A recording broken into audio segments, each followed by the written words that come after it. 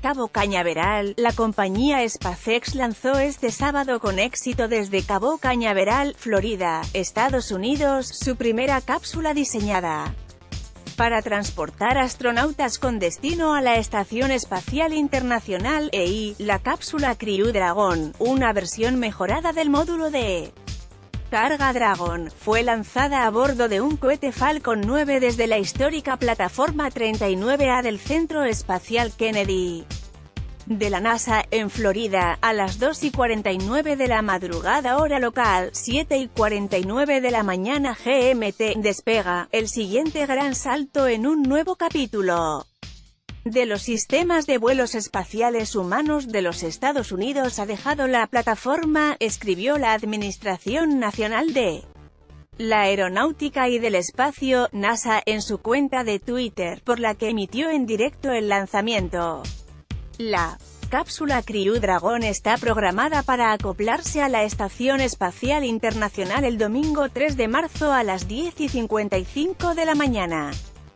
GMT Crew Dragon de SpaceX se ha separado de su cohete mientras la nave espacial continúa dirigiéndose a la EIN.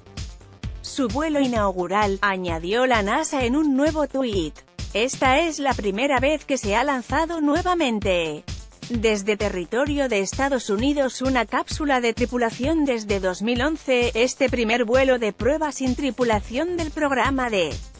tripulación comercial de la NASA proporcionará datos sobre el rendimiento del cohete Falcon 9, la cápsula tripulada Dragon y los sistemas terrestres, así como las operaciones en órbita, acoplamiento y aterrizaje. El vuelo también proporcionará datos valiosos para que la NASA certifique el sistema de transporte de la tripulación de SpaceX para el transporte de astronautas hacia y desde la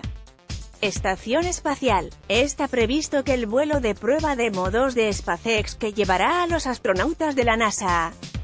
a la Estación Espacial, se lanzará en julio de este año.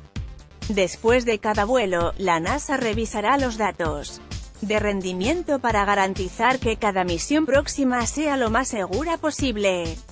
Una vez completados todos los vuelos de prueba, la NASA continuará con su revisión de los sistemas y los datos de vuelo para la certificación antes del